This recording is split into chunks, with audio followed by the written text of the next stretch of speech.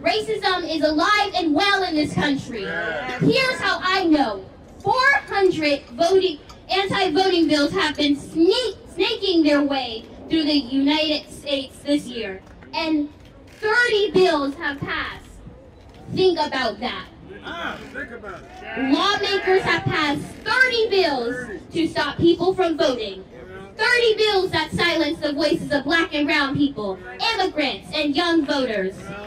The worst of these bills make it illegal to give food and water to voters waiting in line and make it impossible for people to say to have a say in the direction of our country. That is not what democracy is all about.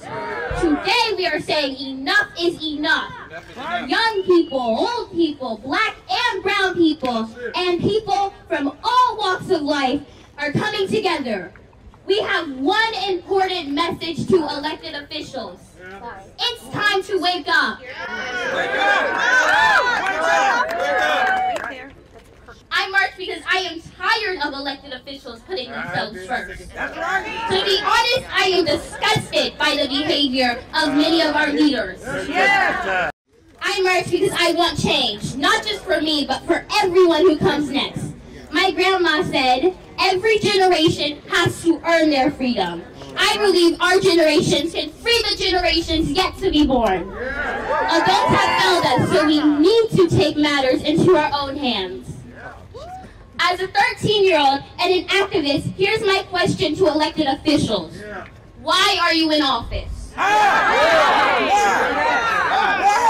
Are you here for power or are you here to stop silence or are you here to use your platform for good? tell them If you are here for good, it's time to stop silencing our voices.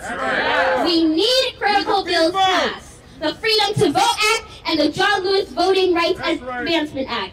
These bills cannot wait. And here's my message to other teams. Wherever you are, it's time to build a foundation of the country we dream of and make my grandpa's dream a reality.